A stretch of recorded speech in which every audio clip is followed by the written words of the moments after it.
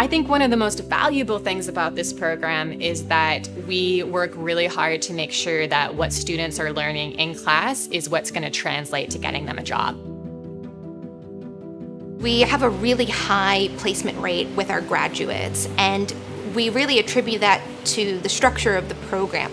We run two Washington Department of Fish and Wildlife hatchery programs as part of the program. Students aren't just learning in a classroom, they're actually out doing the things. They're working in the salmon hatchery, they're rearing trout, we're doing stream habitat surveys, we're doing snorkel surveys to assess fish populations. If you look at a job posting for any fisheries or aquaculture job, what they're looking for is those hands-on experience, not someone that's just read about it in a textbook.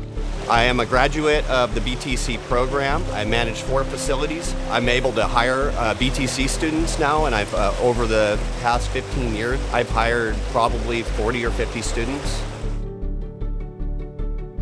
One of the things that we've been able to do at Taylor Shellfish is contribute to the curriculum of the BTC program. And so that in hopes on our end is that we get a better quality candidate to work here at Taylor Shellfish. We really value the BTC students. When we see an application from them come in, we get excited because we know that they already know what they're kind of getting themselves into. The graduates from this program come out very well rounded. It's the best program in the state as far as the training they get.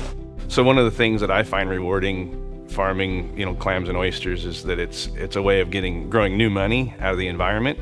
And to me, it's a, a real ultimate mix of business and environmentalism. And so we do a lot of work that benefits not only the industry with clean water, but the community in general. It's also very important for us to acknowledge that here we're located on Whatcom Creek, and this is part of the ancestral lands of the native people here, and that includes the Lummi tribe and the Nooksack tribe. We are salmon people, and so we we grew up fishing all the different species of salmon. You take salmon out of any native culture, the culture will die and I think it's our turn to take care of them.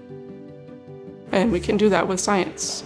I truly believe that you can have sustainable fishing as well as environmentally safe practices in aquaculture. And together, those two entities will be providing the protein that we need to feed the growing population. There's a lot of different paths that you can take from this degree, and I think that's one of the most exciting things about it.